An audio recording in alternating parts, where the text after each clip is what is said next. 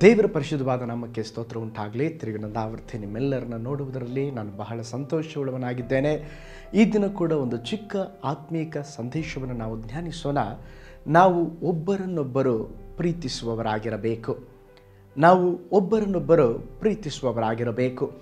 ಅದಕ್ಕೆ ಆಧಾರವಾಗಿ ಒಂದು ಯೋಹಾನ ಬರೆದ ಪತ್ರಿಕೆ ನಾಲ್ಕನೇ ಅಧ್ಯಾಯ ಏಳು ಮತ್ತು ಎಂಟನೇ ವಚನವನ್ನು ನಾವು ಓದಿಕೊಳ್ಳೋಣ. ಪ್ರಿಯರೇ, ನಾವು ಒಬ್ಬರನ್ನೊಬ್ಬರು ಪ್ರೀತಿಸೋಣ. ಪ್ರೀತಿಯು ದೇವರಿಂದಾಗಿದೆ ಮತ್ತು ಪ್ರೀತಿ ಮಾಡುವ ಪ್ರತಿಯೊಬ್ಬನು ದೇವರಿಂದ ಹುಟ್ಟಿದವನು, ದೇವರನ್ನ ಬಲ್ಲವನು ಆಗಿದ್ದಾನೆ. ಪ್ರೀತಿ ಇಲ್ಲದವನು ದೇವರನ್ನ ಬಲ್ಲವನಲ್ಲ. ಯಾಕೆಂದರೆ ದೇವರು ಪ್ರೀತಿ ಸ್ವರೂಪಿಯಾಗಿದ್ದಾನೆ. ಈಗ ನಾವು ಓದಿದಂಥ ವಾಕ್ಯ ಭಾಗದಲ್ಲಿ ನಾವು ನೋಡುತ್ತೇವೆ, ಯೇಸುವಿನ ಪ್ರಿಯ ಶಿಷ್ಯನಾದ ಯೋಹಾನನು ಬರೆದಿರುವಂಥ ಮಾತುಗಳು. ಯೇಸು ಕ್ರಿಸ್ತನಿಗೆ ಹನ್ನೆರಡು ಶಿಷ್ಯರುಗಳಿದ್ದರು. ಆ ಹನ್ನೆರಡು ಶಿಷ್ಯರುಗಳಲ್ಲಿ ಮೂರು ಶಿಷ್ಯರು ಅತಿ ಪ್ರಿಯರಾಗಿದ್ದರು. ಆ ಮೂರು ಶಿಷ್ಯರುಗಳಲ್ಲಿ ಇನ್ನೂ ಹತ್ತಿರದ ಶಿಷ್ಯನು ಪ್ರೀತಿಸಲ್ಪಡುವ ಶಿಷ್ಯನು ಸ್ನ ಯೋಹಾನನಾಗಿದ್ದನು. ಆದ್ದರಿಂದ ಇಲ್ಲಿ ಯೋಹಾನನು ಯೇಸು ಕ್ರಿಸ್ತನು ಬಯಸುವಂಥ ಒಂದು ವಿಷಯವನ್ನು ಹೇಳುತ್ತಿದ್ದಾನೆ. ಅಥವಾ ಕ್ರೈಸ್ತ ಜೀವಿತದಲ್ಲಿ ಇರಬೇಕಾದಂಥ ಒಂದು ಮುಖ್ಯವಾದಂಥ ಒಂದು ಪ್ರಾಮುಖ್ಯತೆಯನ್ನು ಹೇಳುತ್ತಿದ್ದಾನೆ. ಏನು ಈಗ ಓದಿದಂಥ ವಾಕ್ಯ ಭಾಗದಲ್ಲಿ ನಾವು ನೋಡುತ್ತೇವೆ. ಮೊದಲು ನೋಡುತ್ತೇವೆ, ನಾವು ಒಬ್ಬರನ್ನೊಬ್ಬರು ಪ್ರೀತಿಸೋಣ. ನಂತರ ಹೇಳುತ್ತಿದ್ದಾನೆ ಪ್ರೀತಿಯು ದೇವರಿಂದಾಗಿದೆ. ನಂತರ ನೋಡುತ್ತಾದವೆ ಪ್ರೀತಿ ಮಾಡುವ ಪ್ರತಿಯೊಬ್ಬನು ಅವನು ದೇವರಿಂದ ಹುಟ್ಟಿದವನು. ದೇವರನ್ನ ಬಲ್ಲವನು ಆಗಿದ್ದಾನೆ. ಆದರೆ ಪ್ರೀತಿ ಇಲ್ಲದವನು ದೇವರನ್ನ ಬಲ್ಲವನಲ್ಲ. ಯಾಕೆಂದರೆ ದೇವರು ಪ್ರೀತಿ ಸ್ವರೂಪಿಯಾಗಿದ್ದಾನೆ. ಈ ವಾಕ್ಯವು ಪೂರ್ಣವಾಗಿ ನಮ್ಮ ಜೀವಿತದಲ್ಲಿ ಪ್ರೀತಿ ಇರಬೇಕೆಂಬುದಾಗಿ ತಿಳಿಸ್ತದೆ. ಕೇವಲ ಬಾಯಿ ಮಾತಿನಿಂದ ಅಲ್ಲ ನಮ್ಮ ಜೀವಿತದಲ್ಲಿ ನಾವು ಪ್ರತಿಯೊಬ್ಬರನ್ನ ಯಥಾರ್ಥವಾಗಿ ಪ್ರೀತಿಸುವಂಥವರಾಗಿರಬೇಕು ಒಬ್ಬರನ್ನೊಬ್ಬರು ಪ್ರೀತಿಸುವಂಥವರಾಗಿರಬೇಕು ಯೇಸು ಕ್ರಿಸ್ತನು ಈ ಕಾರ್ಯವನ್ನು ಬಯಸುತ್ತಿದ್ದಾರೆ.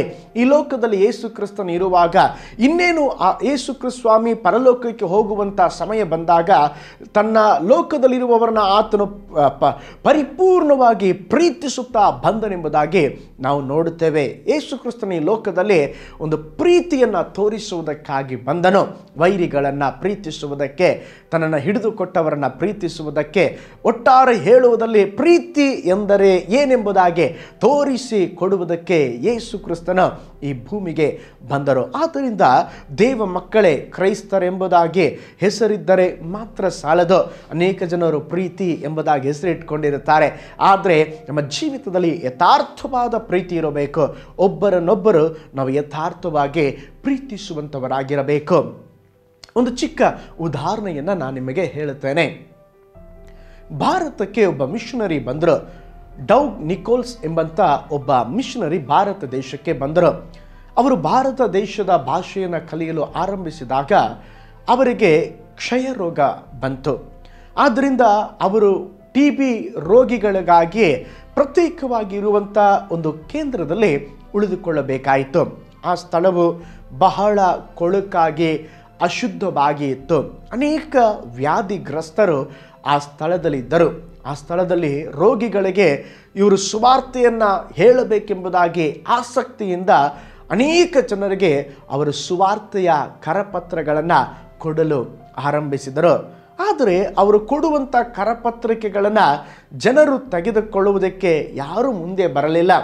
ಕೊಟ್ಟರೂ ಕೂಡ ಅದನ್ನು ಓದುವುದಕ್ಕೆ ಯಾರು ಬಯಸಲಿಲ್ಲ.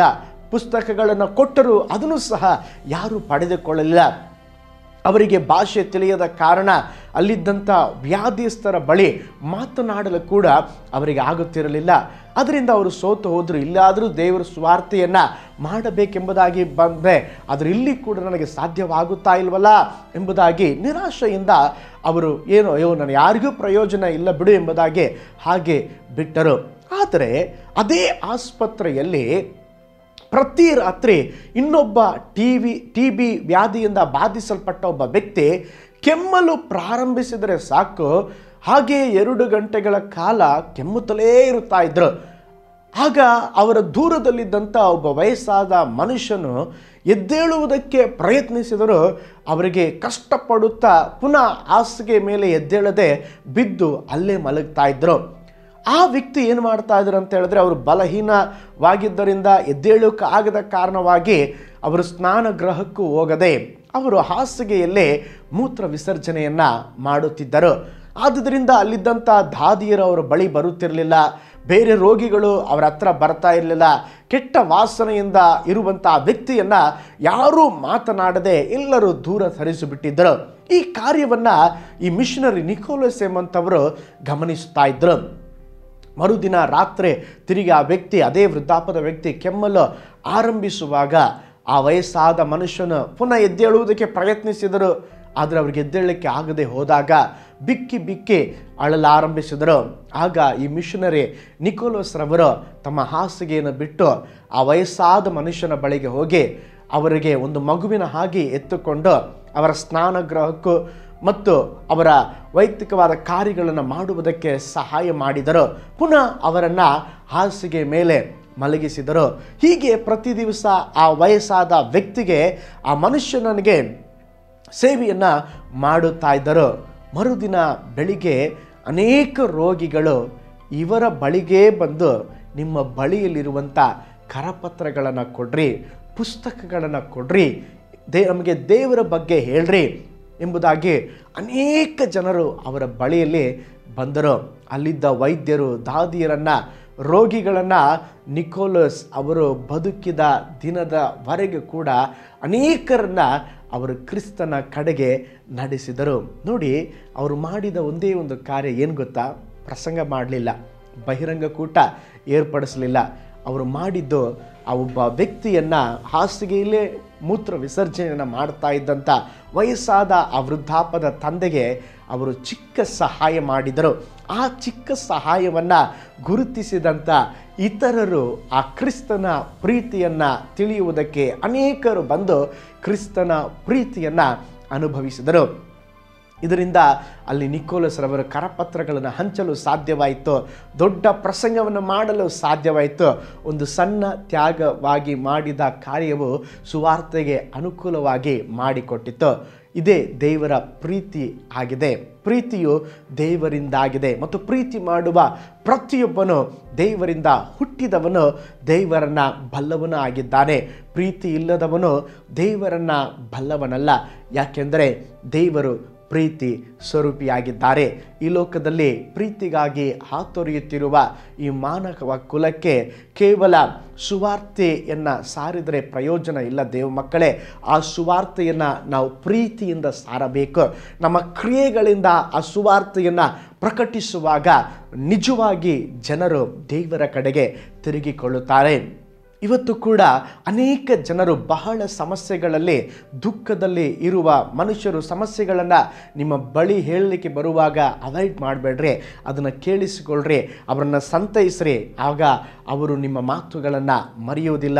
ಒಂದು ಚಿಕ್ಕ ಪ್ರೀತಿಯುಳ್ಳ ಸಂತೈಸುವ ಕಾರ್ಯ, ಅದು ದೊಡ್ಡ ಆಧರಣೆಯನ್ನು ತರುವುದು ಮಾತ್ರವಲ್ಲ, ಒಬ್ಬ ವ್ಯಕ್ತಿಯನ್ನು ಕ್ರಿಸ್ತನ ಕಡೆಗೆ ಅದು ನಡೆಸುವಂಥದ್ದಾಗಿದೆ ಆದ್ದರಿಂದ ಅಗತ್ಯತೆ ಇಲ್ಲಿ ಇರುವವರಿಗೆ, ಕಷ್ಟದಲ್ಲಿ ಇರುವವರಿಗೆ ಮಾನವೀಯತೆಯ ಉಳ್ಳಂಥ ಒಂದು ಚಿಕ್ಕ ಕಾರ್ಯವನ್ನು, ಕ್ರಿಸ್ತನ ಪ್ರೀತಿಯನ್ನು ನಮ್ಮ ಜೀವಿತದಲ್ಲಿ ನಾವು ತೋರಿಸೋಣ ಅನೇಕರನ್ನು ನಿಶ್ಚಯವಾಗಿ ದೇವರ ಬಳಿಗೆ ನಡೆಸುವುದಕ್ಕೆ ಅದು ಮಾರ್ಗವಾಗುತ್ತದೆ. ಹಾಗಾದರೆ ದೇವರ ಪ್ರೀತಿಯನ್ನು ಪ್ರಕಟಿಸಲು ಇವತ್ತೇ ನಿಮ್ಮನ್ನು ನೀವು ಒಪ್ಪಿಸಿಕೊಡ್ರಿ. ನೀವೇನು ಮಾಡಿದ್ರು ಎಲ್ಲವನ್ನು ಪ್ರೀತಿಯಿಂದ ಚಿಕ್ಕದಾಗಿ ಮಾಡ್ರಿ. ಆ ಚಿಕ್ಕ ಕಾರ್ಯ ದೊಡ್ಡ ಪ್ರತಿಫಲವನ್ನು ನಿಮ್ಮ ಜೀವಿತದಲ್ಲಿ ತರುವಂಥದ್ದಾಗಿದೆ ಹಾಗಾದರೆ ನಾವು ಪ್ರಾರ್ಥನೆ ಮಾಡೋಣ.